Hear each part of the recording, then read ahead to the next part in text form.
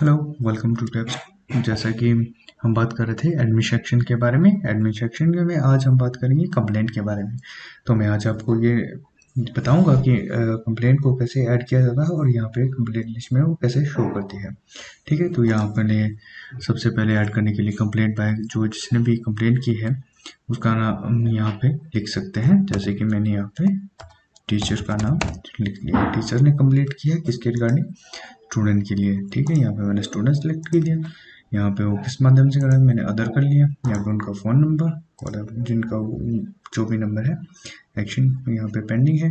Assign यहाँ पे administration को असाइन कर दिया हमने। आपके पास कोई फ़ाइल है तो क्रॉस कर दीजिए यहाँ पे फ़ाइल अटैच कर सकते हैं। अदरवाइज़ मैं ऐसे सेव कर रहा हूँ। जो सेव होने के बाद आपको जो है ये कंप्लेंट लिस्ट के अंदर शो करवाई जाएगी।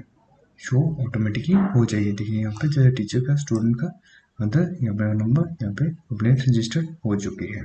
सो इस तरह से आप कंप्लेंट को रजिस्टर कर सकते हैं। Thank you